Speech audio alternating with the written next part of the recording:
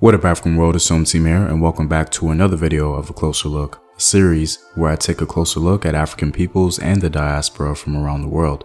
Today, we're going to be taking a closer look at Afro-Panamanians.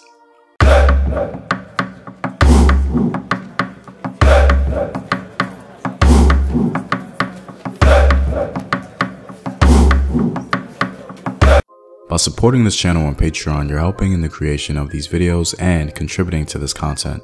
The link to Patreon is in the description box below. Also, stay tuned with word from my sponsors. Hello, my name is Howard Dorsey. I'm 54 years old. I'm here to talk about my uh, experience with herbal results.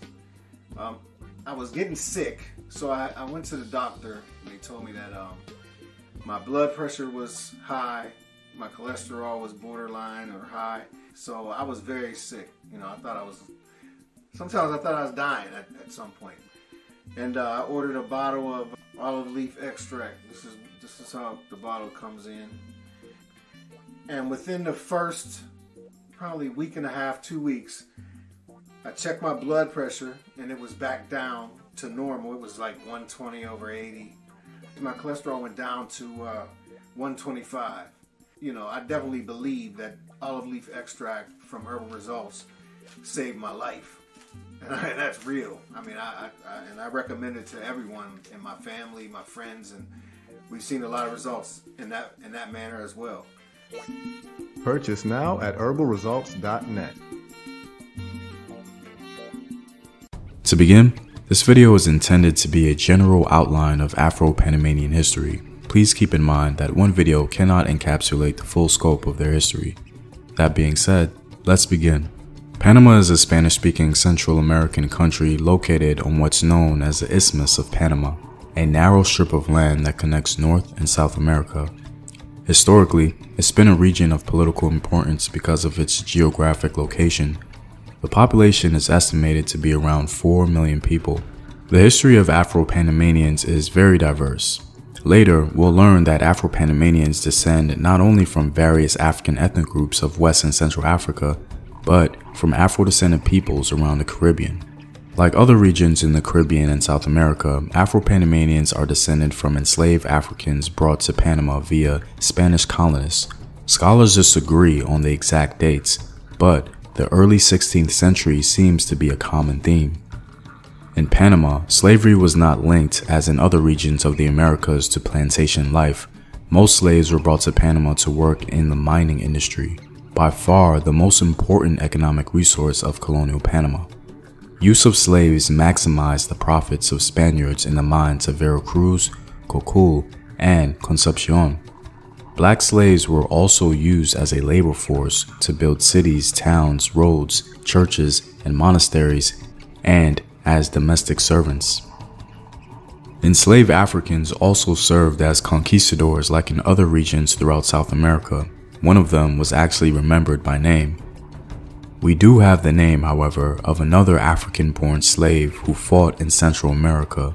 Juan Bardales participated in the conquest of Panama and Honduras, for which services he was granted his freedom and later a modest pension. We don't know how many African-born conquistadors were in Panama, but according to scholar Matthew Restall, Wherever Spaniards set foot in the Americas as members of conquest companies, they were accompanied by black conquistadors. Some Afro-Panamanians did not just settle for an enslaved life. There were many maroon settlements established by the ancestors of Afro-Panamanians. The severe conditions experienced by the enslaved provoked several insurrections and the formation of numerous palenques. By 1533, it was estimated that there were approximately 800 Maroons in Panama. Among the most famous Maroon leaders, documents mention Felipillo and Bayano or Valano. King Bayano, as he was known by the Spanish, was undoubtedly the most successful African-born leader of Panama in the 16th century. He beat the Spanish on several occasions. It was only deception that caused his eventual defeat. However, the Spanish honored his bravery, sending him to Spain to live as a free man. In Panama, a dam, a valley, and a river bear his name. As mentioned previously, Afro-Panamanians have a very diverse background. Afro-Panamanians can be divided into two major groups, those who landed in Panama as slaves in the 16th century and those who migrated involuntarily or voluntarily to work on different projects in the 19th century.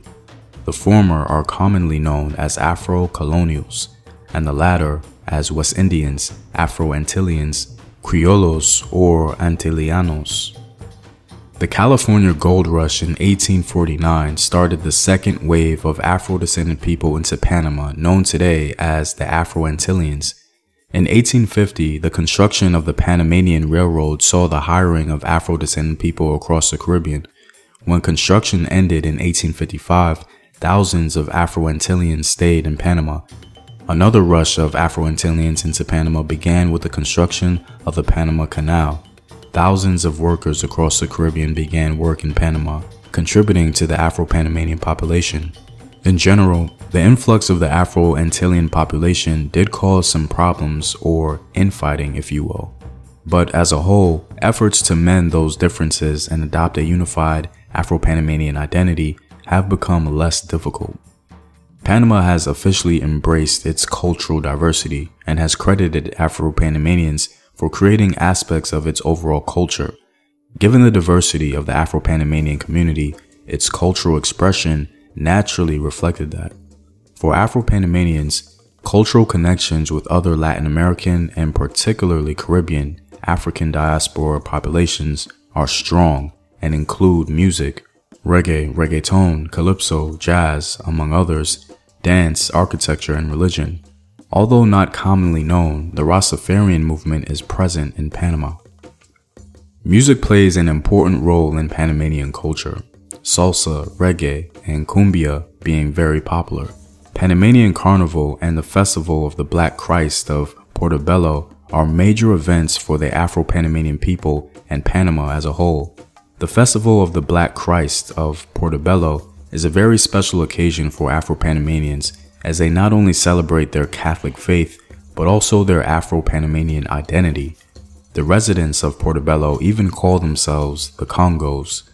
According to one theologian, the celebration is more than a religious function. It's a form of protest against Spanish colonialism.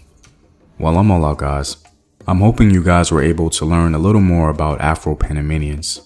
If you like these videos and would like to help in its continued production, Consider supporting the home team on patreon.com. The link is in the description box below. Know thyself. Remember your ancestors. Peace.